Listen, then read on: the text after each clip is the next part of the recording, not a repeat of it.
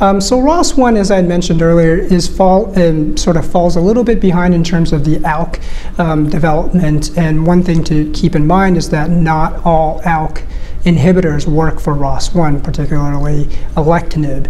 Um, but in terms of the ROS1 data, uh, the furthest along is uh, lorlatinib, actually, with their phase two trial um, in the ROS1 cohort, uh, showing uh, fairly good response um, of, uh, for patients that have been treated um, or previously treated or treatment naive, um, um somewhat similar to what we had been seeing on the ALK side of things.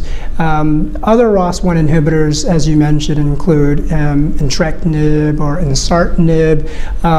TPX-005 is another promising ROS1 inhibitor.